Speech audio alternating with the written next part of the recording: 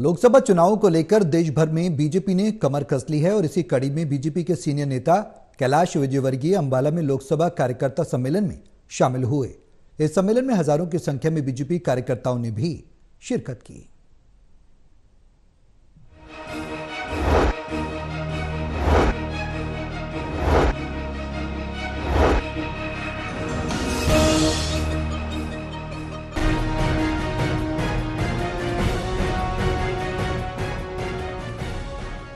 लोकसभा चुनावों को लेकर के देश भर में बीजेपी ने कमर कस ली है।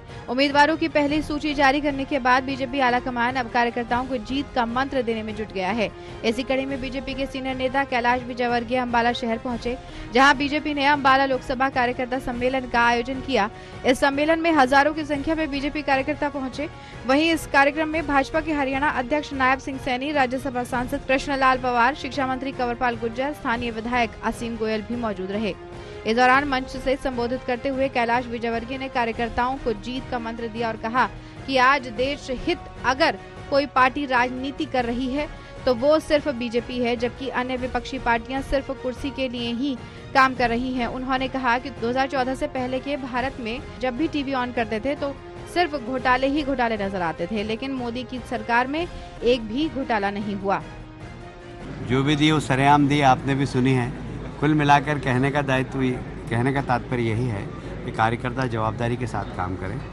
मोदी जी देश को आगे बढ़ा रहे हैं। दो हज़ार सैंतालीस में हम भारत को विश्व के सबसे ताकतवर देशों की श्रेणी में खड़ा करना चाहते हैं। उसके लिए आज से ही कार्यकर्ताओं को जुटना पड़ेगा। और हम इस चुनाव में जो है, जो संकल्प है कि 400 से ज़्यादा सीट आए उसके लिए हम लोग प्रयास करें। और मुझे लगता है कि इस बार बहुत ही ज़बरदस्त रिज़ल्ट आएगा। कैलाश विजयवर्गीय ने कहा कि एक समय था जब चाइना हमें आँख दिखाता था और पाकिस्तान से लोग आकर हमारे सैनिकों का सर काट ले जाते थे। लेकिन भारत सभी को मुँह तोड़ जवाब देता है। पीएम मोदी के नेतृत्व में आज विश्व भर में भारत का सिर ऊँचा है।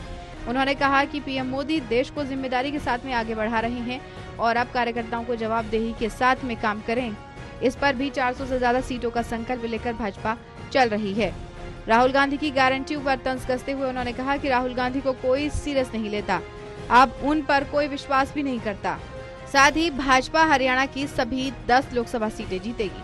बहरहाल, लोकसभा चुनावों को लेकर के देश भर में बीजेपी ने कमर कस ली है। उम्मीदवारों की पहली सूची जारी करने के बाद में बीजेपी आलाकमान अब कार्यकर्ताओं को जीत का मंत्र देने में जुट गया है। टोटल टीवी के लिए कृष्ण बाली की रिपोर्ट।